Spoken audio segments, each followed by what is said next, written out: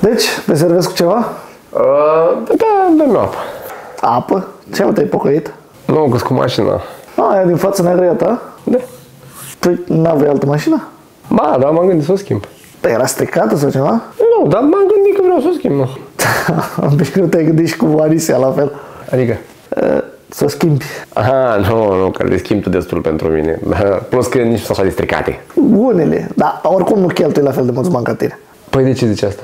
Tu îți dai seama că în ultimul an ai schimbat mașina de 4 ori? Da, mă, dar ce am vândut-o pe aia, am cumpărat-o pe asta, plus minus am ieșit cam la fel. Păi nu e chiar așa, pentru că ai previzii da, la fiecare mașină.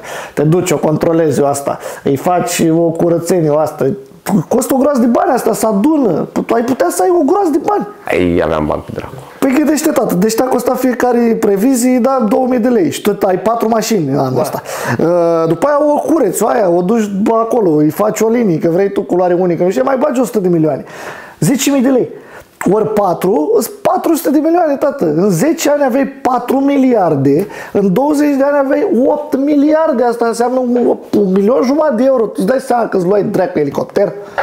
Bă, da, ce calcul ai făcut să-mi fac picioarele. Vorba aia, bă, românii chiar cât schimbe bun contabil cu banii altora.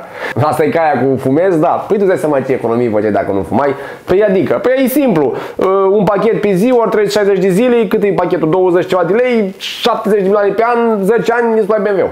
Tu fumezi? Nu. Păi unde ți BMW? Da, da, are logică. Are logică? Un milion jumătate de euro? Tu ți-ai schimbat mașina de 4 ani anul ăsta? Nu. Păi și unde ți elicopterul? Nu e chiar așa.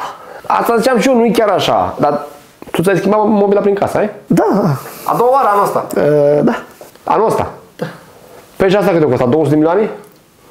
Ori 2, 400 de milioane, ori 10, 4 miliarde. Tu îți dai seama că îți cumpărai casă de atunci. Sau ai să faci altfel calcul, fii atent. Cu câte fete ai ieșit la întâlniri în ultimul an, într-un an zile? Nu vreau să mă laud. 15. Nu te lauzi deloc, e ok. 15 fete. Deci, și ai ieșit cu fiecare de 4, 5, 6, 7 ori? Și ai consumat cu fiecare 4, 5, 6, 700 de lei?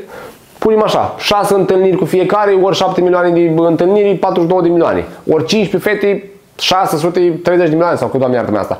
Deci în 10 ani ai 6 miliarde jumate, în 20 de ani ai aproape 13 miliarde. Îți luai două elicoptere acum. Ne întâlneam în, în aer cu elicopterele ca Bosch în casa ta ce pe canapea. Deci practic noi nu suntem cheltuitori, suntem investitori pe termen lung în capitalism, în economia de piață. Și eu în mașini care se strică și tu în mobile și în femei care, well, care se rup.